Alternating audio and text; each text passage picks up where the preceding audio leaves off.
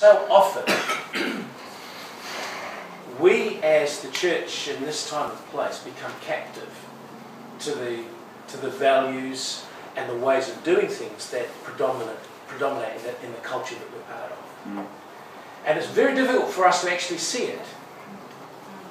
That's the great advantage of studying history, because you can see how it's happened in the past. And if you can see how it's happened in the past, it may just alert you to the fact that there's every possibility it's happening in the present. I think it was C.S. Lewis who said something like, you know, we, we can't look into the future. And because we can't look into the future, we can't compare the now with then, but we can compare the now with the past and, and become more informed in that kind of way. So I want to, I want to talk about some, some things that have happened in, in history.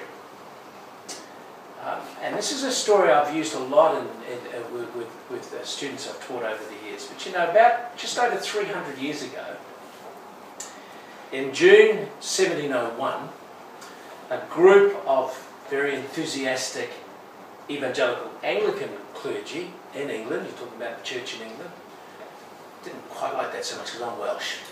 And, uh, our, our relationship with the English is a little bit tense. Because we were the first lot that the English invaded and exploited. Just a little aside, my, my ancestors were Welsh miners. And um, the Welsh coal industry in its heyday, do you know what the average life expectancy of a Welsh miner was? 37 years. Because the owners of the mines couldn't give a stuff about the welfare of their workers. As long as they were ripping that black gold out, they were happy. Anyway, that's another story. This group of Anglicans, they created a mission society. It was called the Society for the Propagation of the Gospel in Foreign Parts. We'll call it SPG for short. It still exists. It's now called the United Society. And its purpose was quite simple. It said, and this was their vision statement, the care and instruction of our people settled in the colonies, and they weren't meaning Australia yet at that stage, they were basically talking about North America and the Caribbean. The conversion of Indian savages, and the conversion of the Negroes. That was their, that was their aim. About nine years after they were established, they got a bequest. Now, a lot of mission societies survive on bequests. And this was a worthy, this was a great one. They, they received a slave plantation in the Caribbean, on Barbados, from a very wealthy man called Christopher Codrington. Uh, his mansion that he built in Barbados still exists. I think I think it's a Bible a Bible college now, from memory. So this mission society, which had a passion to see Negroes come to faith, suddenly found themselves owning 300 of them. So what do you imagine they did? Well, let me tell you. For the slaves, very little changed. SPG delegated responsibility for the day-to-day -day running of their new Barbados sugar plantations to overseers, and those overseers, in order to show the change in ownership, had all the slaves rebranded with a hot branding iron with the word society on their chest or on their back. So the name of their new owners was there for all to see. One of the conditions of the bequest was that the number of slaves had to be kept at around 300, because that was about how many they needed to keep the sugar plantation operating economically. Sugar was like gold in the economy of Europe at that time. Now, it wasn't easy to keep your slaves at 300 because of the conditions they lived and worked under. So, uh, the SPG had to keep buying new slaves. Uh, between 1712 and 1761, they purchased another 450 slaves to replace the ones that had died. Now, they didn't die largely from old age.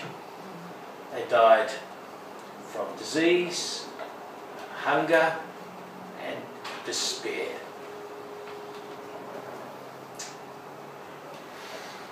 Over, over the period that they kept slaves, they ended up owning altogether about 750 of them, if you count the ones they inherited when they got it, the number they purchased along the way. And it was only when the British Parliament passed its Abolition of Slavery Act in 1833 that SPG gave up its slaves. And in fact, part of that bill provided compensation to slave owners, not to slaves, but to the slave owners. They got money for the slaves that they can no longer own. Now, when we look back 300 years later, we think, well, how on earth could they possibly do that? To us, it's incomprehensible that they could do that kind of thing. I want us to try and understand it because this evangelical Christian organisation was so embroiled in a system that we know is evil. How could that happen? It's estimated that between 1691 and 1779, British slave traders transported 2,141,900 slaves from largely the west coast of Africa across to the Caribbean and to the settlements in North America. And the people of the day in British industry and commerce, in Parliament, in the churches, they actually believed that this trade in black human cargo was essential to the economy. That if you stopped it, the economy would go down the toilet. And those who built the slave boats, those who owned them, those who sailed them, and the many people who grew rich on the back of the slaves were mostly card carrying members of local churches. For example, the Anglican Bishop of Exeter, who was in partnership with three other people in owning slaves, when the 1833 bill was passed and they had to give up those slaves but got monetary compensation from the government for doing so, they received a grand total of £13,000. And that might not sound much, but if you go to Google, okay, I encourage you to do this, look up the Palace Hotel in Torquay. It's still functioning as a nice quality hotel today. It's a massive building. That was built by the bishop with his part of the £13,000 as his, as his kind of weekender, um, his summer palace. That's why it's called the Palace Hotel. You can go online and book a room there today. Um, and you get a very nice room with breakfast in for about £150 a night. And the hotel readily acknowledges that uh, it once was the bishop's summer palace. What it doesn't tell you on the website is that it was built from blood money.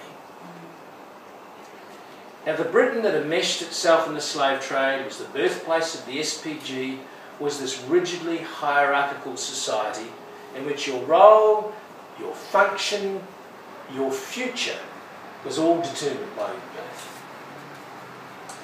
And to that appallingly unjust structure, the church, or much of it, gave it its blessing and its theological credibility.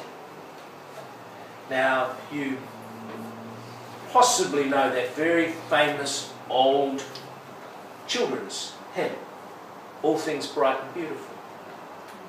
All creatures great and small, all things wise and wonderful, the Lord God made them all. It's a children's song, so it gets a bit sort of cutesy at this point.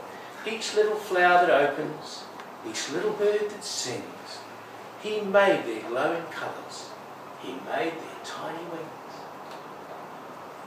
The rich man in his castle, the poor man at his gate, God made them high or lowly and ordered their estate. so where they were in that hierarchy was ordained by God. That's how it was supposed to be. Mm. So the church was sanctioning this, supporting it. Um, when you were talking before, John, about you know the, the, the, great stuff that has come out of the Anglican Church, and there's been some wonderful stuff that has come out of the Anglican Church. But I remember once, uh, many years ago, take, going with a, a Welsh cousin um, who not travelled very much at all, and we decided we'd go and have a look at Wells Cathedral. It's a magnificent building. It's got the most incredible stained glass windows, the most amazing statuary. But on the way to Wells Cathedral, you walk through this particular part that's now kind of absorbed by shops and things. It's a stone structure made out of the same stones as the cathedral. But when the cathedral was built, and this was first built, there were no shops there. It was just the cathedral and this thing. It looks like, if it was standing on its own, a very overly sort of engineered bus shelter. And it's called the Beggar's Gate. And it was built so that the beggars had some shelter from the elements when they begged from the worshippers as they were going into the cathedral. Now, cathedral after cathedral built in Europe to the glory of God? I don't think so. And all the cathedrals were built out of the exploitation of the poor. In fact, there are parts of at least one cathedral, I can't remember which one in the UK, that was built out of the proceeds of prostitution. It took the Wesleyan revival to shake the church out of its complacency and torpor. And it was that wonderful renewal, of course, that spawned those extraordinary 18th century reformers, the ones that we hold up as our heroes in the faith, rightfully so. Wilberforce, Shaftesbury and company. And those reformers, they were the leaders, but they had people that were with them, worked to humanise British society and to change it from one in which the poor were condemned to penury for posterity to one in which there was more opportunity for all to flourish. Now we, we know, because we've all seen the movie Amazing Grace, that Wilberforce was a key leader in the slave trade. And one of those that helped make that institution illegal. When the campaign to end slavery began, as you will have seen if you watched the movie or, or, or read the books, very few took it seriously. But the men and women who led that campaign did so with a passion and a determination that was fueled by their faith mm. and by their own experience of the love of God and their conviction about the justice of God. And they inspire us. In them we see a love for humanity and a love for God that led to a challenging of those values and practices in their society which were clearly out of alignment with the character and values of God. But we need to remember that for a long time theirs were just voices crying in the wilderness. And the great majority of those who sat next to them in the pews on a Sunday morning didn't share those convictions. Every generation of Christians since the church began is placed under huge pressure to conform to the surrounding society's dominant ways of thinking mm. and living. And those ways are nearly always contrary to God's ways. Mm. And every church, every generation of the church since Jesus launched it, has encountered that pressure and usually succumbed. Remember what Paul wrote to the Christians in Rome? Let me read it to you. He's, and this is from the, uh, the Phillips paraphrase. I still quite like that. He says, With eyes wide open to the mercies of God, I beg you, my brothers and sisters, as an act of intelligent worship, to give him your bodies as a living sacrifice, consecrated to him and acceptable by him. And then note these words. Don't let the world around you squeeze you into its own mould. But let God remould your minds from within so that you may prove in practice that the plan of God for you is good, meets all his demands, and moves toward the goal of true maturity. Now, I don't know if the people in the expositor's pulpit that, uh, that John was talking about actually talked about the kind of communities that Paul was actually writing to. And the fact that these tiny Christian communities were embedded in the belly of the beast, the Roman Empire. And, and, and the things that they believed and that they taught and they adhered to were, were in, in violation of so much that was considered to be sacred within the Roman Empire. And Paul was just as pleased to these Christians to live differently, were just urgent. He begged them to live differently because he said, he knew, and he said, if you don't do that, then you actually don't have a gospel to preach. Mm. We are called to be embedded in the world, but we're called to be different from it at every point where faithfulness to Jesus requires us to walk a different path. Someone else we were looking at in, in, in class, one day I was showing a little bit of from YouTube, is Dr. Bay, um, I'm not sure how you pronounce his name, Beyers Naudé. And he was a, a, a leading South African theologian in the Dutch Reformed Church in South Africa. And it was the Dutch Reformed Church in South Africa which gave theological sanction and blessing to apartheid. And Naudé, after witnessing or hearing about the Sharpeville massacre in 1963, had a complete change of heart and mind. He resigned his membership to the Broederbond, which was this semi-secret society, sort of basically a fascist society within South Africa. And he preached in his church what he knew would be his last sermon in that church, because in this sermon he preached against the evils of apartheid. And in this, in this interview, he talks about the fact that he and his wife then went to the entrance of the church to see people as they filed out, like you normally do, and they usually go past and say, lovely sermon, vicar, or something, their name like that. Most of them wouldn't even look him in the eye. And other people expressed their anger, and other people were visibly upset.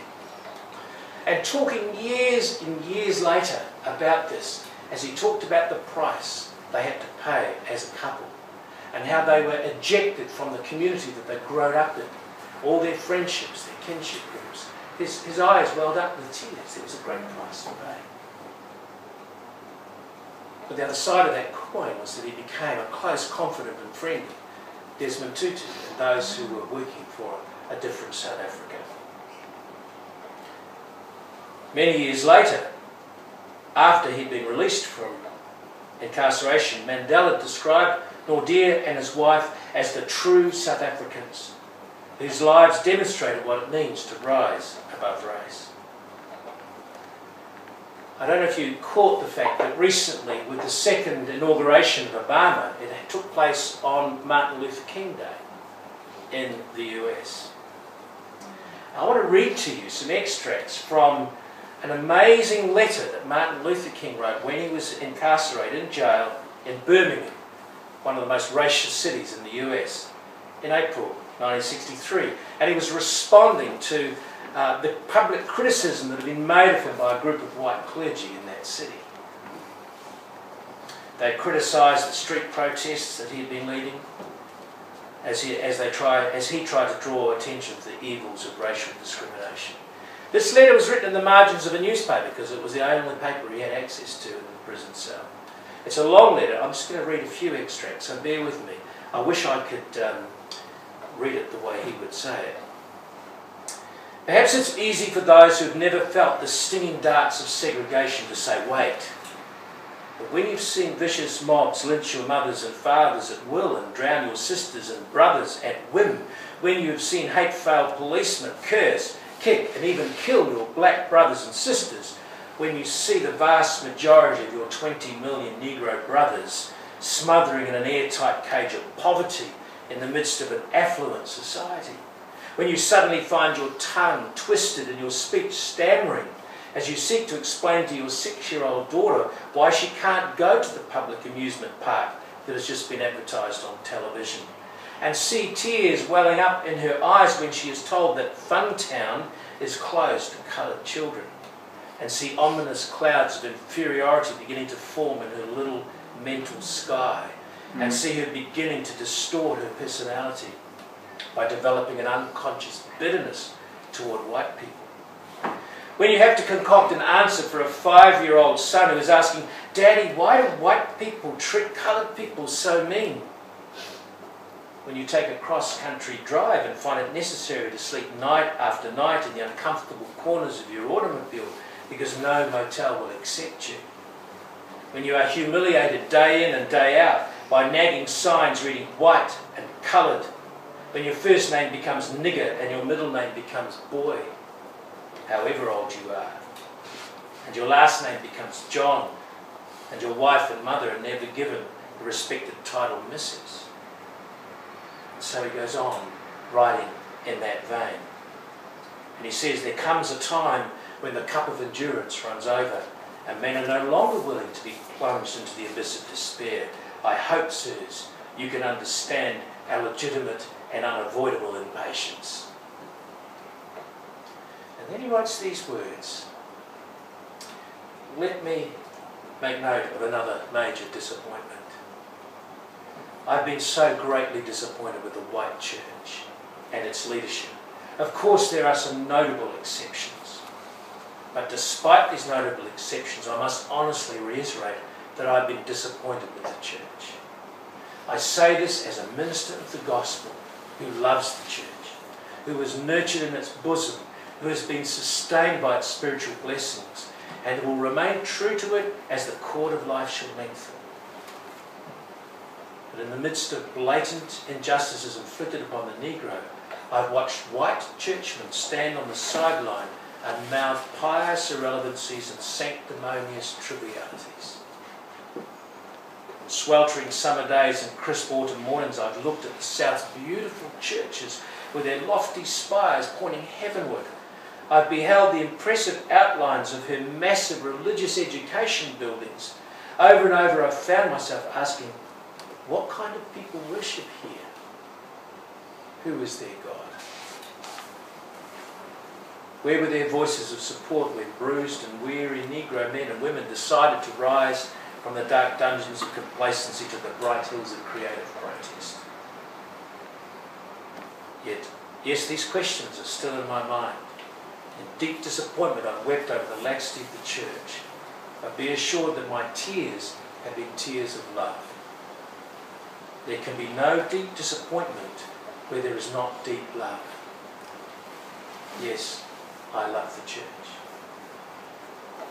The election of an African American to the presidency is powerful testimony to the huge changes in US society for which Martin Luther King and others sacrificed their lives.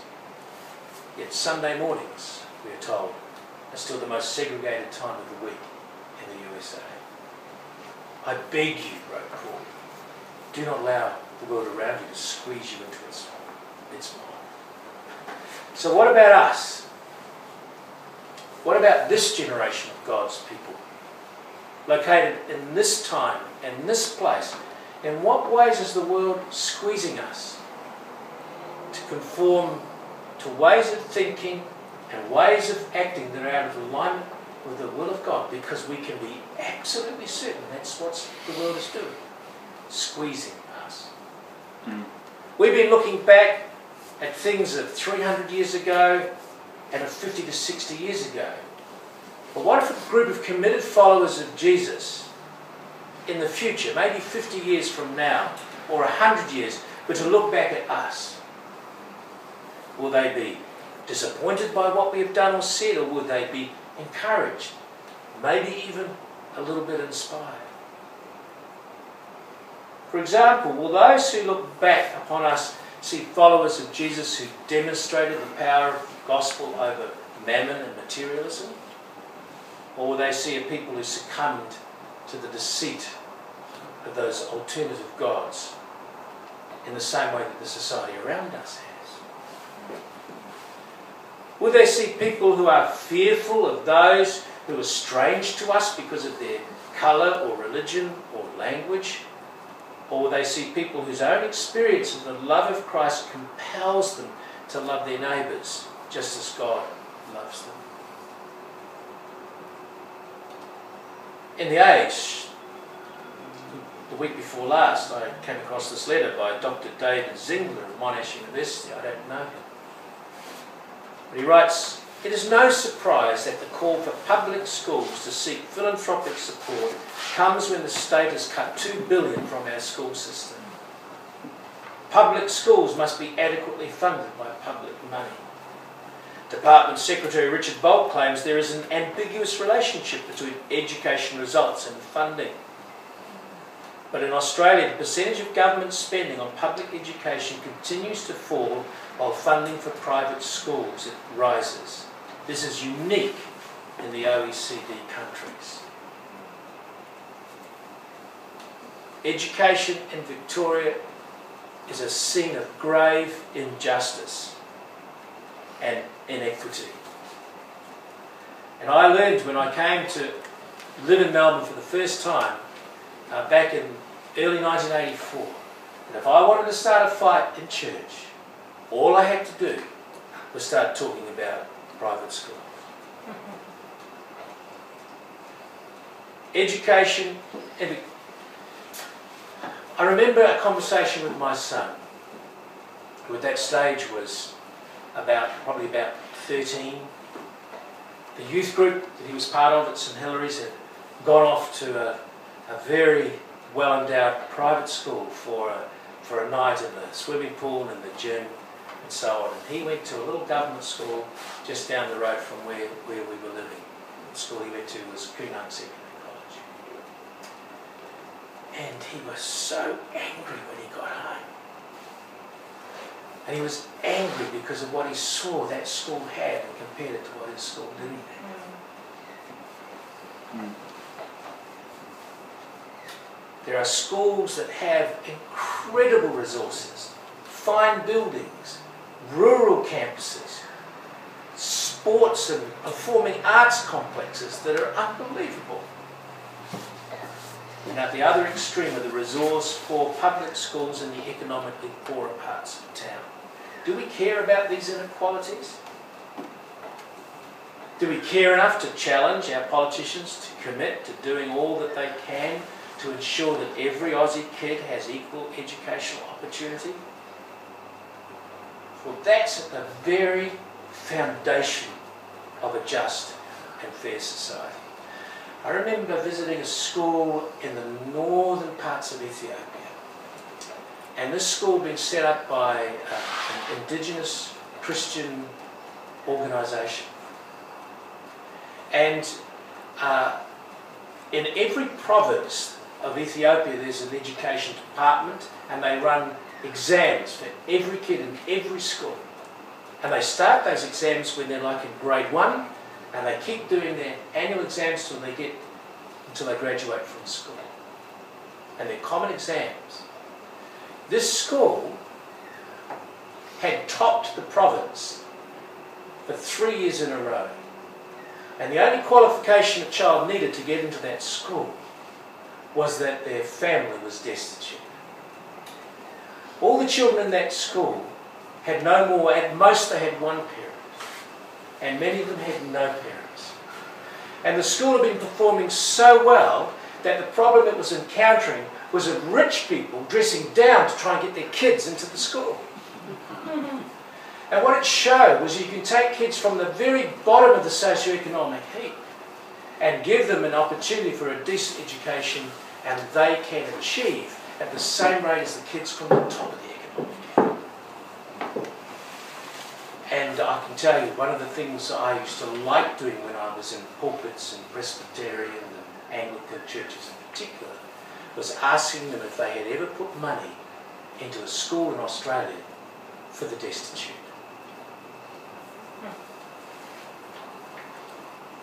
Most of our politicians are too scared to go anywhere near this issue. As a result, the reforms recommended by the Gonski report more than 12 months ago are still just sitting there gathering dust. And educational inequality increases as each year goes back. What are the implications of that? Well, in 50 years' time, will Victoria be a place of entrenched social and economic inequalities and injustices? A place of gated communities which the affluent hide behind security fences and guards while urging their politicians to build yet more prisons? It will be if we keep going in the direction we're going. Or will it be a society in which anything less than a commitment to social justice and the fair treatment of all from cradle to grave will be deemed as un-Australian behaviour? It's a ridiculous term, I know, but anyway, it's what the politicians use, so I'll use it. And what part will we have played in generating either of those outcomes?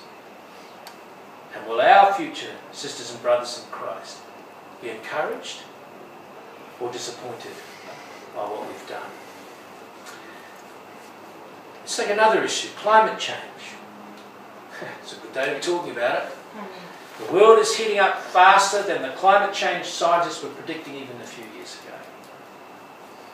And the impact has already been felt in many of the world's most vulnerable communities. Malaria, one of the deadliest killers of the poor, is travelling into higher altitudes into communities that have no immunity to. The monsoon once as reliable as Big Ben has become as unreliable as the, the legs or back of an Australian fast bowler. Hmm. And that unreliability means that poor people in places like Nepal or Bangladesh are finding it increasingly difficult to grow adequate food to feed themselves and their families. As predicted, there's been a substantial increase in the frequency and intensity of what we call major weather events.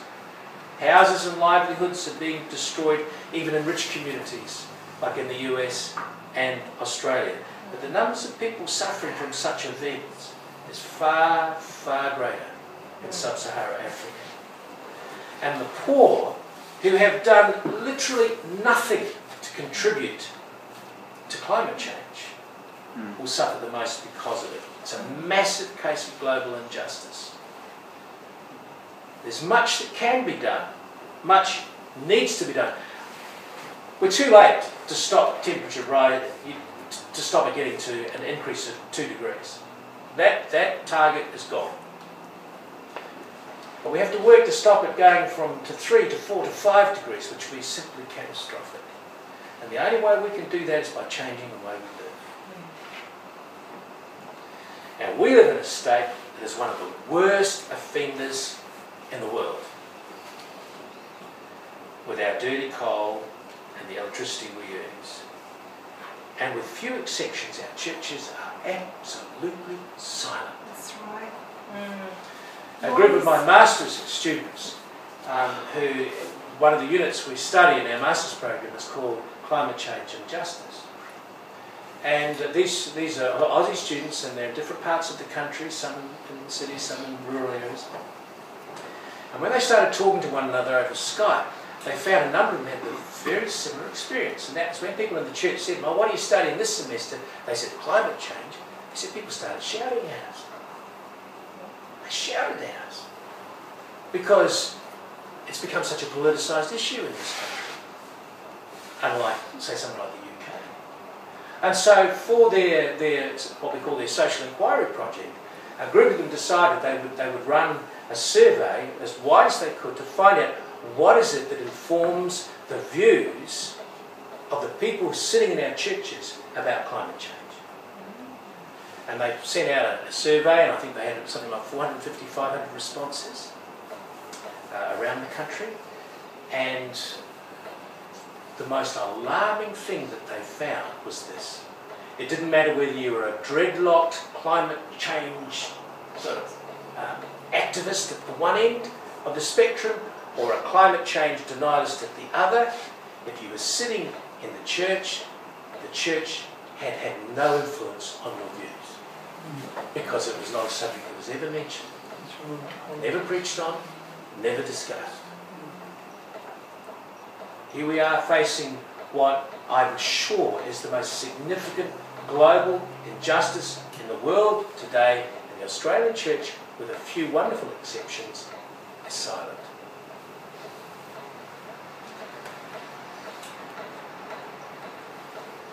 Well, I've just mentioned a couple of areas where the world is trying to squeeze us into its mould and live differently from where our faith and our Lord would ask us mm. to be living. And there are a whole bunch of other areas that we could discuss, but I need to finish and then I think there's an opportunity for some sort of questions.